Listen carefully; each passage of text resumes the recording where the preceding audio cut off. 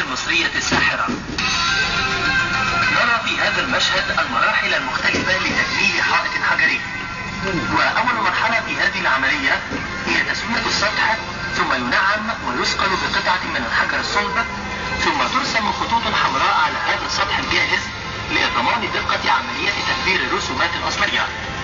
ثم يقوم الفنان بعد ذلك برسم الإطار العام على الجدار مستعينا بالمخطط العام الذي أعده الفنان الأصلي على لوح صغير أو حجر أو قطعة من ورق البردي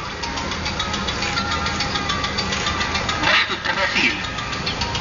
كانت عملية نحت التماثيل تجرى عادة في المحجر حيث يقطع منه كتلة أو قطعة الحجر اللازمة.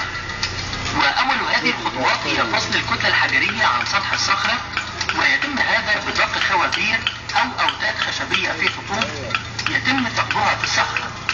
ثم تبلل هذه الأوتاد بالماء. وعندما تتمدد الأوتاد بفعل الماء فإن قطعة الصخرة تنفصل.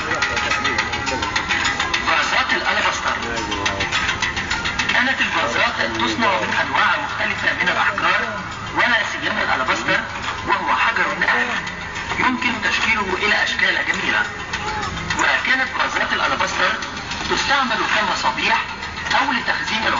والزيوت الغالية. ورشة النجار.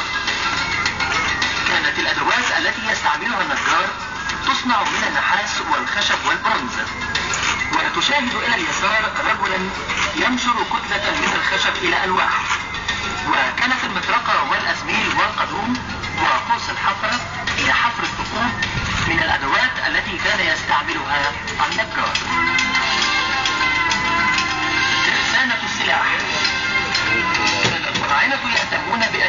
الجيش مزودا بالسلاح في كل وقت.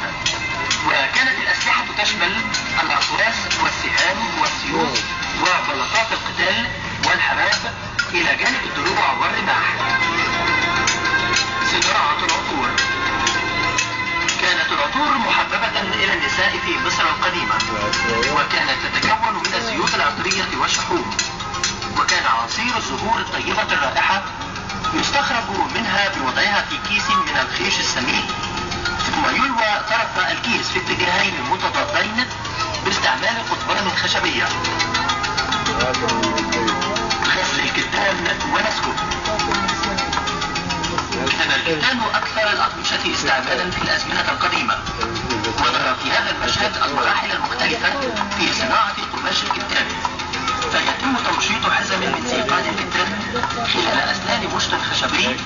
للتخلص من الأطراف والأوراق.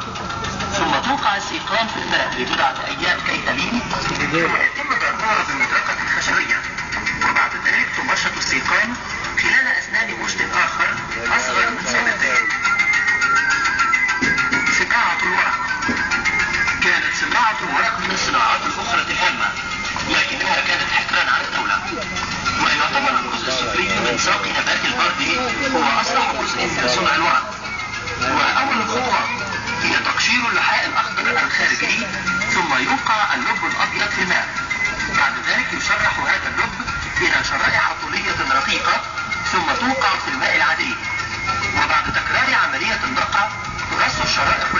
على قطعة من القماش في طبقتين إحداهما رأسية والأخرى أفقية وبعد أن يتكون سطح الورقة بهذه الطريقة يدق بمطرقة خشبية بهدف مسك الطبقتين.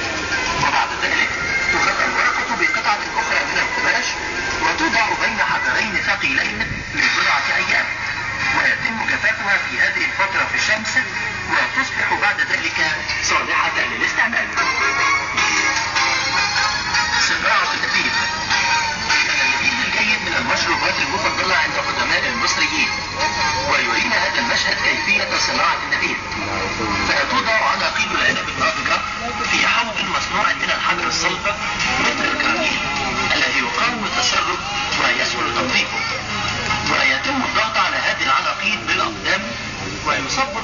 ناتج في أواني فخارية كثيرة لكي يتخمر.